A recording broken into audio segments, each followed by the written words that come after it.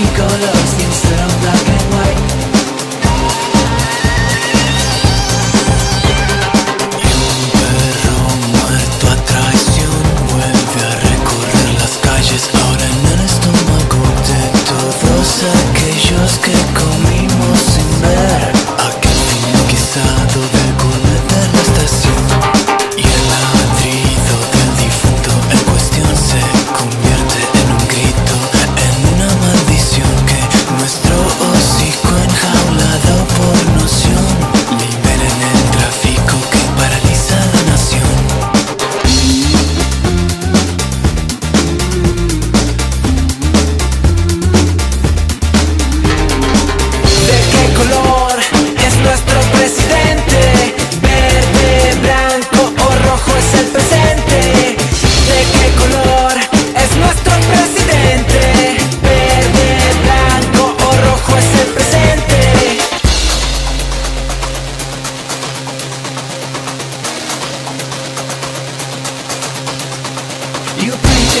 y con los sin